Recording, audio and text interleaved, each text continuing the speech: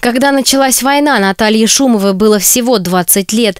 Мужчины покидали Москву, уходя на фронт. Все тяготы военного времени легли на хрупкие женские плечи. Наталья Филипповна вспоминает, с наступлением ночи окна занавешивали светонепроницаемыми бумажными шторами, уличные фонари не горели, пережили и бомбежки. Мы же были девчонками, работали. Я на тракторе работала. Для нас было это очень тяжело.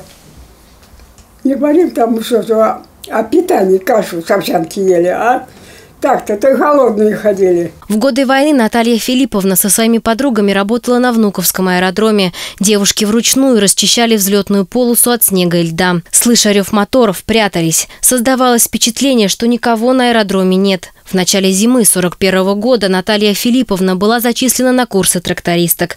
Ей предстояло овладеть мужской профессией, изучить трактор. Через три месяца получила права механизатора. Пахала, сеяла, выращивала и убирала урожай. Трудилась с раннего утра до поздней ночи, без выходных и отпусков. Как ездила, обыкновенно заведу, сяду и поеду. Пахала так в Никуле не одна. Бригадир был у нас, но когда у нас там какая-то не поломка, мол, приедет, поможет, а так одни пахали. Великую Отечественную войну Наталья Филипповна вспоминает со слезами на глазах. Она признается, что это были самые тяжелые годы в ее жизни. Бесконечный холод и голод, хлеб по карточкам, а за пропавший колосок могли посадить на 10 лет. Это я в Никулине жала рожь на, на косилке. Потом домой шла. У нас была бригадирка Мария Дмитровна. Стоит на дороге, стоит, ждет, что я иду. С поля трактор остановил, иду домой, уже к вечеру. И потом вот подхожу, она мне вот так вот, а мне слезы с градом. Я говорю, Марья Дмитриевна, ну если я обронила этот колосок, или рабочих себе она была агроном, я же иду сама иди победу, но я его не трогала. И не, не, не, не оборвала этот листок зерном-то. Было строго очень.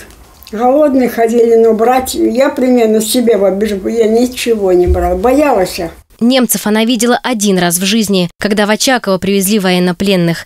Две машины по 12 человек. Ну, нас же близко даже не, могли так, как вы сидите, подпускать. Мы стояли далеко, смотрели.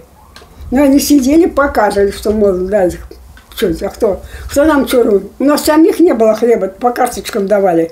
Что мы им дадим? Зимой 41-го по решению Верховного главнокомандования началось строительство тыловых оборонительных рубежей на московском направлении. Наталья Шумова попала в рабочий батальон Можайской линии обороны. Работали в Жаворонках. Оборонительная линия состояла из противотанковых ежей и рвов. Рвы копали вручную. Здесь же переживали налеты вражеских самолетов. Наталья Филипповна не любит вспоминать о тяготах войны. За оборону Москвы Наталья Филипповна получила медаль. День побыли, копали окопы. А вечером говорит, пойдем на дачу ночевать. Смотрите, говорит, ничего не бери, там вся мебель, все игрушки. Подходим в лесу, стоит эти дом, без окошек, без дверей, ничего там нету. Заходим в этот дом, там солома на полу. У нас было что-то 12 человек. Ну, мы легли на эту солому. Потом уже утром встали пошли опять копать эти окопы. На всю жизнь Наталья Филипповна запомнила День Победы, встречала его действительно со слезами на глазах. Это были слезы гордости и радости. Вернулся с фронта жених, защитник Ленинграда. Вышла замуж, родила сына Владимира. Трудилась в полеводстве, выращивала клубнику и овощи. Потом работала на трикотажной кунцевской фабрике. К молодому поколению обращается с особой нежностью. Все было, все мирно, спокойно. Пусть не надеются на одну плохую жизнь, а на хорошую.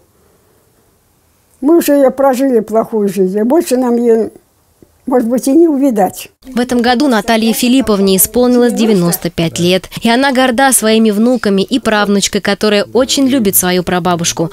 Наше поколение благодарно таким людям, как Наталья Шумова, и понимает, пока в каждом из нас жива история Великой Отечественной войны, никто не будет забыт.